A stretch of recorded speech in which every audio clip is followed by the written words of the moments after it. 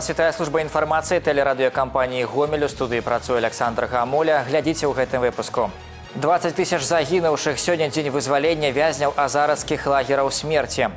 Пасяўная на старце гатоўнасць сельгастэхнікі вышэй за 90 процентаў. Апошняе слова за надвор'ем. Таленавітыя артысты і проста рэдкія прыгажуны. Белыя тыгры выступаюць на манежы гомельскага цырка. А зараз аб гэтым і іншым больш падрабязна Прэзідэнт Беларусі Александр Лукашенко павіншаваў Уладзіміра Пуціна з пераканаўчай перамогай на выбарах прэзідэнта Расійскай Федэрацыі. Гэты вынік сведчыць аб высокім даверы і падтрымцы грамадзянамі рассіі узятага курсу на ўстойлівае сацыяльна-эканамічнае развіццё краіны, умацаванне яе аўтарытэту на міжнароднай арэне. Упэўнены, што гістарычныя вузы дружбы і ўзаемаразумення нашых народаў стануць залогам далейшага пашырэння беларуска-расійскага стратэгічнага партнёрства, гаворыцца ў віншаванні. Чакаем вас з візітам у нашу краіну для правядзення пасяджэння вышэйшага дзяржаўнага савета саюзнай дзяржавы і абмеркавання актуальных пытанняў двухбаковага супрацоўніцтва, адзначыў беларускі лідар. Александр Лукашенко пажадаў Уладзіміру Пуціну моцнага здароўя, невычэрпнай энергіі і далейшых здзяйсненняў на на карысць брацкага народа рассіі. Пытанні стану дарог пераважалі на прамой лініі старшыні гомельскага аблвыканкама. Як паведаміла прэс-сакратара аблвыканкама Вольга Рабікава, у суботу 17 сакавіка Владзімир Дворнік прыняў 26 зваротаў. Нараканні на стан дарог, несвоечасовасць ачысткі вуліцы, двароў ад снегу і лёду прагучалі ад жыхароў рэшыцы, веткі і гомеля. Усе праблемныя пытанні па распараджэнні кіраўніка рэгіёна павінны быць аператыўна вырашаны. Прагучалі таксама і падзякі ў прыватнасці за рэалізаваны рэалізаваны праект па водазабеспячэнні гомельскага мікрараёна касцюкоўка губернатар адзначыў што тэма якаснага забеспячэння населеных пунктаў рэгіёна якаснай пітной вадой застаецца на яго асабістым кантролі і будзе планамерна рэалізоўвацца а жыхары жыткавічаў звярнуліся да ўладзіміра дворніка з падзякай за якасна праведзены рамонт гарадскіх аб'ектаў Вечная памяць аб 20 тысячах загінуўшых мірных грамадзянах. Сёння ў калінкавіцкім раёне на месцы былога канцлагера Азарычы прайшла акцыя смутку, прысвечаная чарговай гадавіне вызвалення вязняў ад фашысцкіх захопнікаў. У мітынгу, праведзеным абласным аддзяленнем беларускага фонду міру прыняла ўдзел Марына Джалая. Оглашают пусть наши леса, только птиц и детей голоса. И пусть мирно проходят года. Пусть не будет войны никогда. Азарацкія лагеры смерці былі створаны на пачатку сакавіка 44 -го года у былым даманавіцкім раёне. Зараз гэта тэрыторыі калінкавіцкага, светлагорскага і акцябрскага раёнаў. Сюды фашысты сагналі каля 50 тысяч мірных грамадзян, дзяцей, жанчын і старых. Вязняў трымалі на забалочанай мясцовасці, абнесенай калючым дротам. Падыходы да лагера замініравалі. Людзі спалі на голай зямлі. Іх марылі голадам, не дазвалялі разводзіць агонь. Сярод вязняў гітлераўцы размясцілі размясцілі хворых на тыф. За 10 дзён існавання лагеру смерці ад хвароб, голаду і холаду тут загінула каля 20 тысяч чалавек. 19 сакавіка савецкія войскі вызвалілі азарыцкія лагеры, выратавалі больш як 30 тысяч чалавек. З іх амаль палова дзеці. Потом пришли наши освободители, освободили нас. Я уже не шла, не могла идти. Меня уже выносили тропинка, тропинки выносили. Потом я тяжело переболела тифом, но я выжила, детка, выжила. И благодаря, благодарю Господу Богу, для меня вот этот самый день освобождения – это мой дзень моего рождения. Успрымаць жыццё як дар, трымацца за яго, знаходзіць радасць у кожным моманце свайго існавання, быць шчырымі і дастойнымі людзьмі, глядзець толькі наперад, але ў глыбіні душы несці смутак аб тых, чые жыцці завяршыліся тут, у лагеры смерці. Аб гэтым, змяняючы адзін аднаго, разважалі на мітынгу былыя вязні, прадстаўнікі духавенства, улады, грамадскіх арганізацый, моладзь. 19 марта это действительно очень скорбный день день. Вот. В Азарищах всегда проходят памятные мероприятия. И мы из года в год сюда привозим большой миротворческий актив. И в первую очередь молодежь. Для того, чтобы они сегодня вместе с узниками почтили э, память тысяч тысяч людей погибших здесь. И мы сегодня должны все усилия и создать все условия, чтобы не повторилось такое, что Каждая человеческая жизнь – это дорого. Пасля мітынгу удзельнікі акцыі накіраваліся ў музей азарыцкага канцлагера. Тут яшчэ раз узгадалі самыя жудасныя моманты тых сакавіцкіх дзён. Наша здымачная брыгада, дарэчы, звярнула увагу на дзяўчынку, якая шчыра і зацікаўлена разглядала кожны экспанат і вельмі пранікнёна і эмацыянальна выказвала свае пачуцці ад убачанага. Аказваецца, яна прыехала на мітынг з дзядулей са жлобіна. Мы очень уважаем тех людей, которые смогли пережить вот весь этот ужас. И ну, это просто страшно. Такое не должно вообще повториться. Самае, напэўна, страшнае гэта бачыць пакуты дзяцей, назіраць і не здолець дапамагчы. У канцлагеры на свет з'явілася шмат немаўлят. З іх выжыла толькі адно дзіця. Астатнія загінулі. Любіць і аберагаць сваіх дзяцей, блізкіх сяброў гэта тое, што мы можам рабіць кожны дзень у памяць аб тых, хто быў пазбаўлены такой магчымасці. Аб гэтым жа у інтэрв'ю кажа і яшчэ адна наша суразмоўца. В каком возрасте они попали в этот лагерь? Это можно прийти домой, посмотреть на своего младшего брата либо сестру, которому 5 лет, и просто на секундочку об этом задуматься. Это ужас. Это такой ужас, что это очень влияет на мировоззрение молодежи. Хвіліна маўчання, якая была абвешчана падчас жалобнага мітынгу, гэта момант вялікага смутку для кожнага чалавека, момант глыбокіх разваг і духоўнага ачышчэння. Такія хвіліны трэба аб'яўляць у сваіх душах кожнаму чалавеку як мага часцей, памятаць мінулае, каб зберагчы будучае. Марына Джалая, Валерый Гапанько, тэлерадыёкампанія Гомель з Калінкавіцкага района. Ад бізнес-ледзі да гаспадыні вёскі ў мінску назвалі імёны пераможцаў юбілейнага рэспубліканскага конкурсу жанчына года 2017. Яго ладзіць беларускі саюз жанчын, які аб'ядноўвае больш як 180 тысяч жыхарак нашай краіны. На ўрачыстай цырымоніі ў палацы рэспублікі пабывала і наш карэспандэнт Ганна Каральчук. У малой зале палацы рэспублікі пануе святочная атмасфера. Віншаванні, вітальныя абдымкі, смех і шмат прыгожых жанчын, якія прыехалі ў сталіцу з розных куткоў краіны. Столькі радасці і лёгкасці, што нават не верыцца. За далікатнымі плячыма кожнай з гэтых выдатных дам велізарная цяжкая праца. У дзясяты раз самая аўтарытэтная жаночая арганізацыя нашай краіны беларускі саюз жанчын узнагароджвае яркіх прадстаўніц прыгожай паловы чалавецтва, якія дасягнулі значных поспехаў у мінулым годзе, а таксама з'яўляюцца актывісткамі жаночага руху. Арганізатары пастараліся зрабіць юбілейны конкурс асаблівым. Лепшых вызначалі ў шасці намінацыях. Ад кожнага рэгіёна свая пераможца. У намінацыі ратуючы жыццё ушаноўвалі жанчын урачоў, донараў і ўсіх, хто стаіць на варце здароўя. Сярод іх загадчык гематалагічнага аддзялення для дзяцей рэспубліканскага навукова-практычнага цэнтра радыяцыйнай медыцыны экалогіі чалавека Ірына Рамашэўская. Вдохновения я много получила. Я надеюсь, мне это вдохновение поможет проявить еще более творческий подход в своем труде. Дыплом у намінацыі жанчына ў навуцы атрымала загадчык кафедры фінансавую крэдыту Комельскага дзяржаўнага універсітэта імя Франциска Скарыны Войга Башлакова. Благодаря работе Союзом женщин Гомельской областной организации вот сочетала вот эти направления научные, ну и ту роль, которую должна играть женщина в обществе, то есть вот направленную на социальную помощь, на развитие женского предпринимательства, женского лидерства. Сярод лепшых у намінацыі духоўнасць і культура дырэктар карціннай галерэі Гаўрыла Вашчанкі Людмила Шымбалёва. Хочу сказать, что, конечно, в моей жизни каждый человек – это учитель, у которого я всегда чему-то учусь. И вот то, чему я научилась, вот сегодня – это те результаты труда. Намінацыя, якая напрамую звязана з годам малой радзімы, гаспадыня вёскі. У гомельскай вобласці дыпломам па праву ўзнагародзілі Жанну Чарняўскую. Яна займае пасаду намесніка старшыні хойніцкага райвыканкама і адначасова ўзначальвае хойніцкую раённую арганізацыю Саюза жанчын. Так как наш Хойникский район э, считается сельскохозяйственным, поэтому фактически все связано именно с э, данным направлением. Во всех э, сферах работают женщины. И вот задача Белорусского союза женщин поддерживать их, помогать реализовать себя.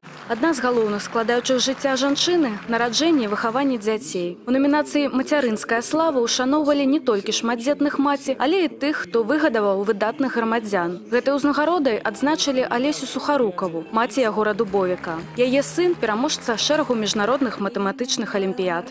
Самое главное настроить на вот это лидерство, то есть как бы смотивировать то, чтобы он захотел быть лучшим. То есть, чтобы он был не безразличен к результату. Ну и как бы постоянная поддержка в семье.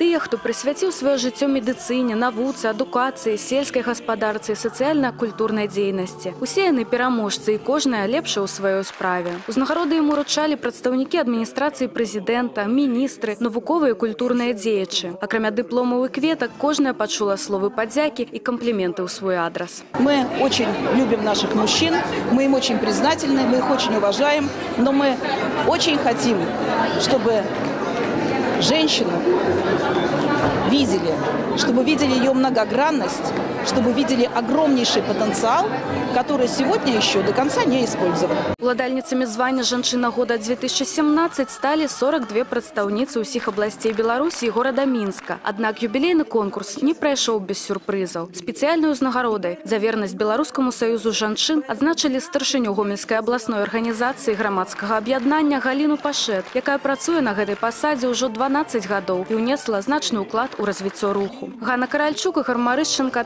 тэлерадыёкампанія Гомель з Мінску. Згодна з аператыўнай інфармацыяй камітэта па сельскай гаспадарцы і харчавання гомельскага аблвыканкама гатоўнасць сельгасмашын да пасяўной у залежнасці ад відаў тэхнікі складае 90-97%. На сённяшні дзень у гаспадарках рэгіёна адрамантавана больш за 5130 трактароў. Гэта 94% ад агульнай колькасці. Згодна з рашэннем аблвыканкама да 25 сакавіка гатоўнасць сельгасмашын да пасяўной кампаніі павінна скласці не менш за 90 95%. Такі ж працэнт гатоўнасці паказалі гаспадаркі Лояўшыны. За гарачай парой у рамонтных майстэрнях аднаго сельгаспрадпрыемстваў раёна назірала Наталья Капрыленко. У мінулым годзе ў ксуп маленаўка агра ў сярэдзіне сакавіка з мехдвара ўжо стартавалі першыя ластаўкі пасяўной. У гэтым на палях яшчэ даволі шмат снегу. Спадзяюцца, што да канца месяца трактары змогуць выйсці на раллю. У гаспадарцы гатовыя ў любы момант, як дазволіць надвор'е пачаць унясенне мінеральных удабрэнняў і падкормку азімых, рапсу і збожжавых культур. Але пакуль яшчэ ёсць работа і ў тэхнічных майстэрнях. Застаўся на рамонце адзін энерганасычаны трактар, не ў страі кукурузныя селкі. Механізатар з 25гадовым стажам радзе Ібрагімаў сам рамантуе селку, а потым сядзе за трактор, каб араць зямлю. Работать на тракторе, справить агрегат и выхожу в поле сеять кукурузу. Заканчиваем последний ремонт и скоро в бой. Ну засиделись уже ребята, как вы чувствуете? Ну, конечно, все ждут, когда в поле. Па ацэнцы лінейкі гатоўнасці тэхнікі да пасяўной гаспадарка спрацавала нядрэнна. 98% сельгасмашын падрыхтавана. Цалкам адрамантаваны пасяўныя і камбінаваныя глебаапрацоўчыя агрэгаты, дыскавыя бароны. Тэрміны для пасеву ранніх яравых культур вызначаны 10-12 дзён. Карэктывы ў планы пасяўной можа унесці толькі надвор'е. Вложено где-то 85 тысяч бюджетных денег – Конечно, помощь огромная оказана районным исполнительным комитетом, ну и порядка 30 тысяч вложено своих денег в ремонт. Яровый щел составляет 2900 гектар, из них 970 гектар ранних яровых культур.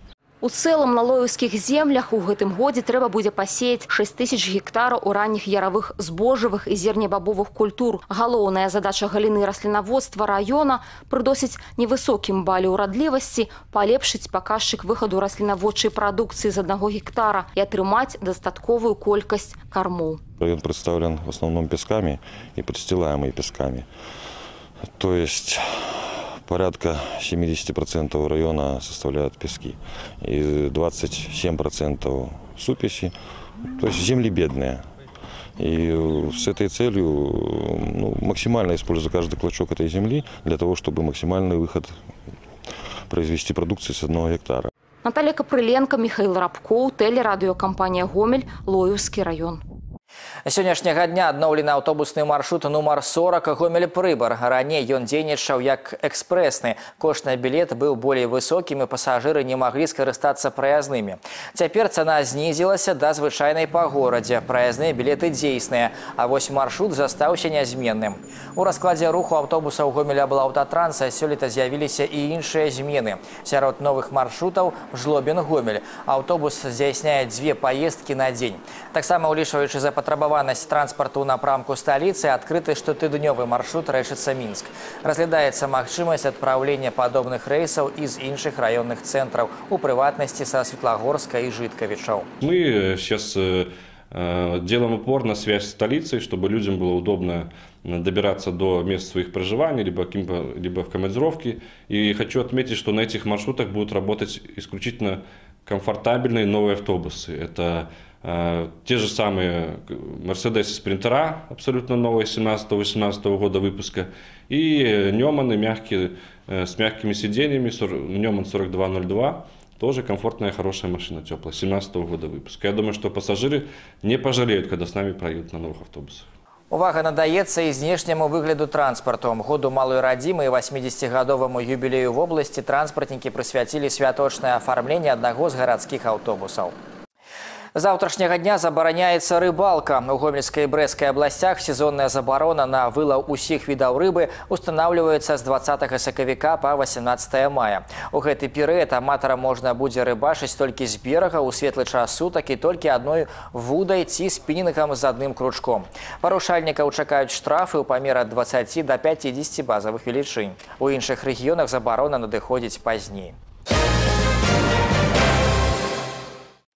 На манежы гомельскага дзяржаўнага цырка стартавала новая шоу-праграма цырк Нікуліна і белыя тыгры. Гледачоў чакаюць захапляльныя выступленні жанглёраў, гімнастаў і акрабатаў, нумары з дрэсіраванымі жывёламі. Разыначка праграмы атракцыён мой татэм з удзелам рэдкіх экзатычных драпежнікаў белых бенгальскіх тыграў. Вераніка Варашылі на адной з першых убачыла яскравае цыркавое дзейства. Унікальны рэквізіт, якасная дрэсура і неверагодныя трукі. Бліскучыя артысты легендарнага цырка Нікуліна ў Гомель прывезлі яскравую шоу-праграму. На манежы гомельскага цырка складаныя трукі ў выкананні паветраных гімнастаў, смелыя сальты і скачкі акрабатаў, арыгінальнае групавое выступленне жанглёраў на вышыні.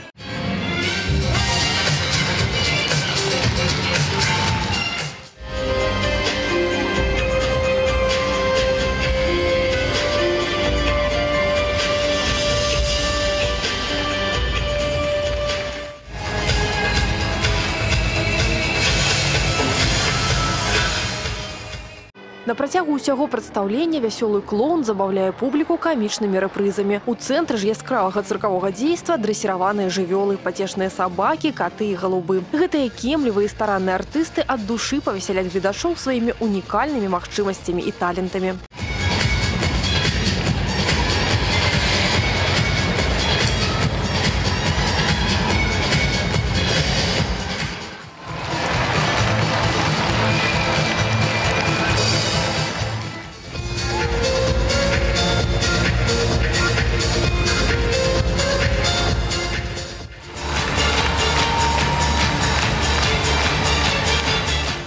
Разыначка праграмы атракцыён мой татэм з удзелам белых бенгальскіх тыграў. На манежы адразу шэсць рэдкіх экзатычных драпежнікаў, два хлопчыкі і чатыры дзяўчынкі. Гэта зусім маладыя і энергічныя артысты ва ўзросце ад палутара да двух гадоў. Скачкі, піруэты і іншыя відовішныя трукі яны выконваюць пад кіраўніцтвам сваіх дрэсіроўшчыкаў. Лаўрэатаў міжнародных конкурсаў Алісы Несцеравай і Алексея Паручаева.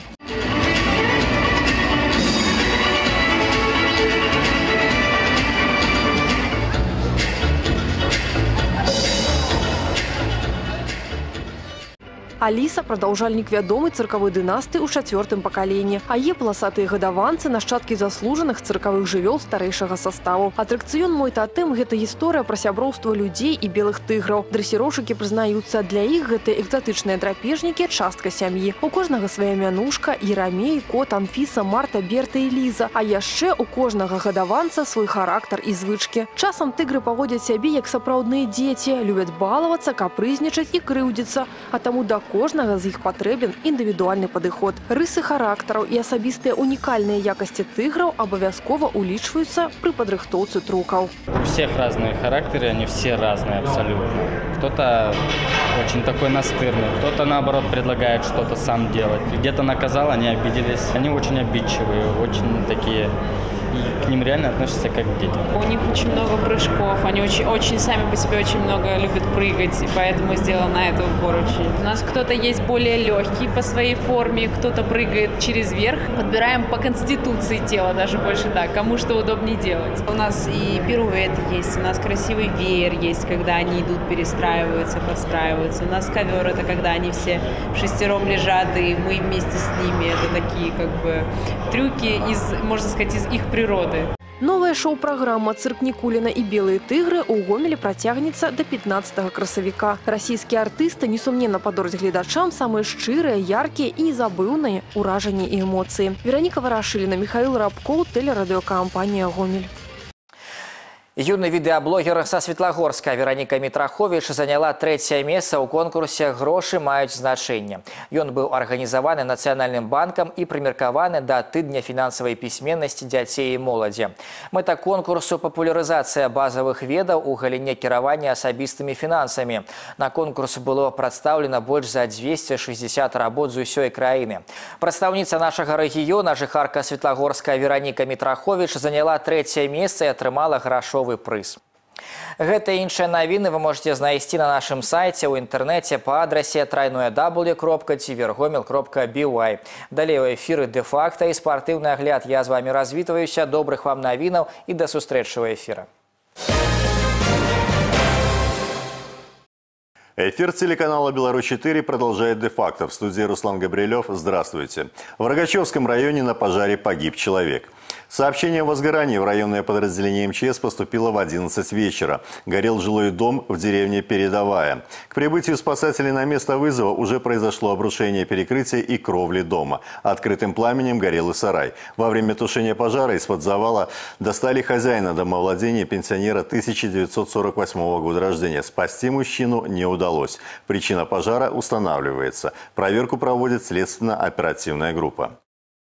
На выезде из Гомеля задержан оптовый поставщик на свае с более чем 30 килограммами некурительных табачных изделий. Молодой человек не раз попадал в поле зрения правоохранительных органов и пограничников. Так, в феврале этого года в его гараже было найдено 290 килограммов на свае, а 4 месяца назад мужчину задержали при попытке провести в рейсовом автобусе Москва-Мозырь 120 килограммов некурительного табака. В этот раз молодой человек решил границу не пересекать. Автомобиль, в котором находился 27 27-летний мазырянин остановили сотрудники ГАИ, после чего задержание осуществили милиционеры ОМОН.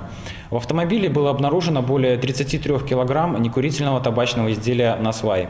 Задержанный был помещен в изолятор временного содержания, а в отношении его составлен административный протокол по части 2 статьи 16.10 Кодекса об административных правонарушениях Республики Беларусь. Ему грозит штраф от 10 до 40 базовых величин, либо административный арест. Такого обзор происшествий к этому часу. Оставайтесь с нами и берегите себя. Я, Руслан Габрилев, благодарю за внимание. До свидания. На телеканале «Беларусь-4 Гомель» новости спорта. В студии Максим Савин. Здравствуйте. Гомельская команда ВРЗ единолично возглавила турнирную таблицу чемпионата Беларуси по мини-футболу. В 24-м туре вагоностроитель на домашней площадке обыграли Лить Сельмаш. Накануне матча обе дружины имели в активе одинаковое количество баллов и занимали две верхние строки в табеле о рангах. Так что на кону были не только три очка, но и пускай и зыбкое, но все-таки лидерство. Вагоностроители, как и подобает хозяевам паркета, состав стартового свистка прибрали инициативу к своим рукам и искали шанс в позиционных атаках. Гости, что естественно при таком развитии событий, делали ставки на контратаку. И на девятой минуте команде Виктора Торчила удалось добиться своего. Павел Роговик эффектно оставил неудел защиту ВРЗ и поразил ворота Юрия Дегтяренко. Переведя дух после пропущенного гола, вагоностроители вновь насели на ворота коллектива из Лиды. Назревавшее взятие ворот случилось на 15-й минуте. Евгений Клочко Легко записал на свой счет результативный удар 1-1. Дальше все шло по такому же остросюжетному сценарию. Хорошие возможности выйти вперед в счете были у обеих дружин. В итоге эти качели качнулись в сторону ВРЗ. На 36-й минуте прессинг вагоностроителей вынудил ошибиться Дмитрия Лося, который поразил ворота своей команды. Пытаясь спасти хотя бы одно очко, гости выпустили пятого полевого и несколько раз были очень близки к цели. У игроков ВРЗ также были шансы снять все вопросы о победителе. Но цифры на табло больше не менялись. 2-1 в пользу ВРЗ. Хорошо, что вовремя отыгрались быстро. И стало все на свои места, и потом опять продолжилась игра на равных. Игра была хорошая, соперник сильный. Всегда с этим соперником сильные игры, тяжелые. Ну, я думаю, зрителю понравилось вообще. Думаю, хорошая игра. Быть может, немного голов получилось, но зрелищность хорошая была. После 24 туров вагоностроители на первой строке Литсельмаш отстает на 3 балла. На пятке команде Виктора Торчила наступает столица, обыгравшая в минувший уикенд Брестский аматор. Гомельская БЧ в 24-м туре без борьбы пополнила свой очковый багаж. Соперник железнодорожников Южный снялся с чемпионата. Команда Алексея Попова комфортно чувствует себя в зоне плей-офф. Кстати, за оставшиеся шесть туров состав первой восьмерки вряд ли изменится. Хоккейный клуб «Гомель» и «Жлобинский металлург» очным поединком открыли турнир развития. Победа в этой встрече досталась «Рысе» 3-1. Завтра «Гомелю» предстоит выездная игра против «Химика». «Металлург» отправится в гости к Могилеву. Между тем «Гомель-2» сделал уверенный шаг к чемпионству высшей лиге. На Чижовка-арене «Рыси» на старте финальной серии дважды были сильнее юниора. В первом поединке дело дошло до булитов, точнее в ответственный ответственный момент оказались гомельчане. Победный бросок на счету Сергея Пищука. На следующий день гости взяли верх более уверенно. Точные броски Юрченко, Гостева и Пархоменко обеспечили рысям победу. Минчане ответили только одним точным выстрелом – 1-3. При счете 2-0 в пользу рыси финальная серия до четырех побед чемпионата Беларуси высшей лиги переезжает в Гомель. Матчи состоятся 25 и 26 марта. Мужская команда гандбольного клуба «Гомель» добыла первую победу на втором этапе чемпионата Беларуси. Команда Сергея Цыганкова на выезде крупно обыграла могилевский клуб «Машека» 25-38. Самый результативный в составе гомельчан Богдан Сергель – 10 точных бросков. Эта виктория позволила Гомелю еще прочнее обосноваться на третьей строке сильнейшей группы чемпионата страны. Выше находятся только столичный СКА и БГК имени Мешкова. На этом пока все. С новостями спорта вас знакомил Максим Савин. Оставайтесь на Беларусь 4.